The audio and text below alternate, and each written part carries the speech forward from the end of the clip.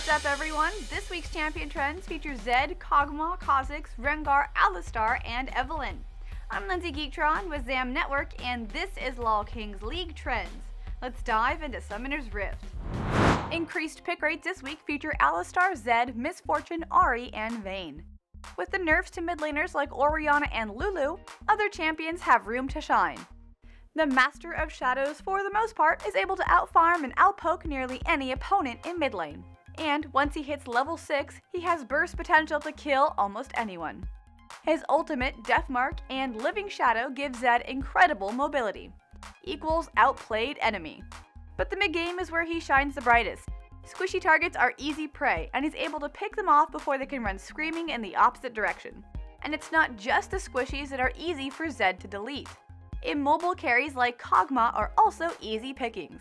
Towards the late game, the split pushing side of Zed comes out, and he becomes really annoying as he can duel nearly anyone who tries to stop him. Because of the new damage reduction on Exhaust, we will be seeing more champions like Zed, Ahri, and Syndra who all have burst and catch potential.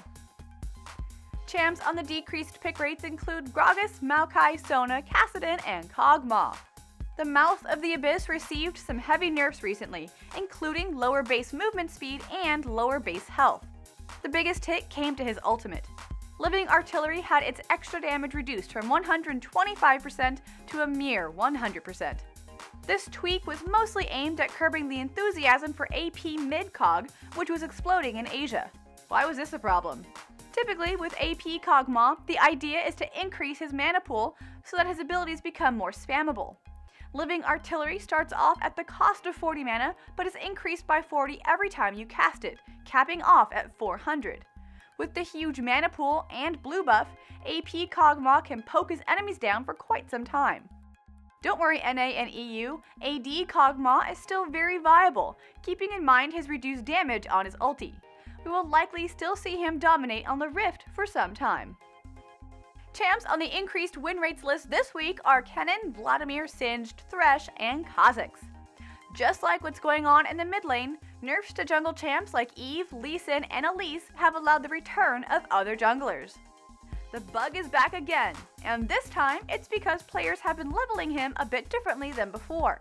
Void Spikes, his W, allow for fast clear and poke, which is now the priority you can poke down your enemy, and then leap from the bushes like a terrifying jungle monster and finish him off. Rushing Spirit of the Elder Lizard as the core damage item to Kha'Zix is usually followed up by a Brutalizer. The Void Reaver gains his power spike after these items, which will then allow you to burst down almost any target you see. Building a Last Whisper or Black Cleaver helps you scale and cut through any armor the opponents have. Top him off with a Guardian's Angel, Randuin's Omen, or even a Banshee's Veil, and good luck facing off against him. Again. Decreased win rates include Rengar, Yorick, Kog'Maw, Kassadin, and Gangplank. Like Kog'Maw from earlier in the show, Rengar has been performing crazy good in the Asian regions with nearly a 100% pick ban rate. Meanwhile, he's been getting a lot of hate in the Western regions due to players' poor performance with this kitty between the NA and EU LCS. With the recent nerf to his ultimate's cooldown, it may be harder to find the Pride Stalker anywhere on the Rift. Rengar has a relatively slow jungle clear, and his early ganks are risky. Since he doesn't have a reliable escape, landing skill shots are vital.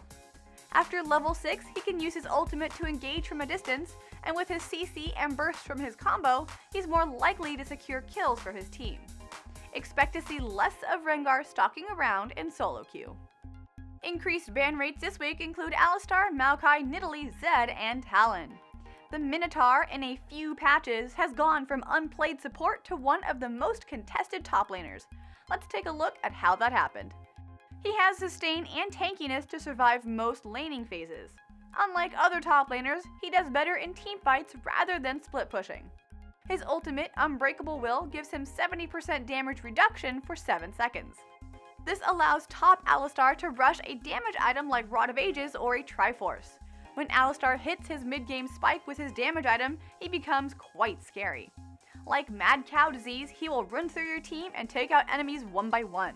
Along with Nidalee and Maokai, the Minotaur is considered one of the best top laners in the current meta. He doesn't dominate a lane like Nidalee would, he just scales well and ends up being an unkillable wall, like Maokai.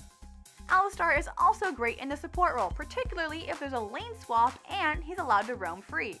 Those mind games and champs alike though. We will continue to see Alistar being a highly contested pick for some time to come. Finally, the decreased ban rates this week list Kassadin up first, with Evelynn, Gragas, Lulu, and Braum rounding it out. Those Evelynn nerfs recently have really tamed the Widowmaker.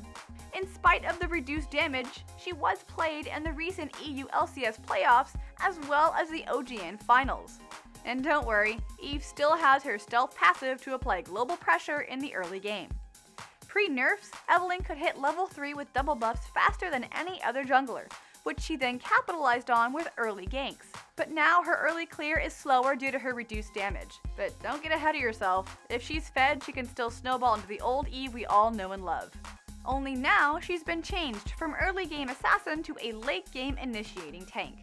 She also combos super well with other invisible champions like Twitch and Rengar to make catches at all stages of the game. But also like Rengar, it'll be harder to see Evelynn on the Rift in the coming weeks, and that's not because of her invisibility. Poor Eve. And that's all for this week's show. Please be sure to check back every week for the latest League of Legends picks, bans, and win rates.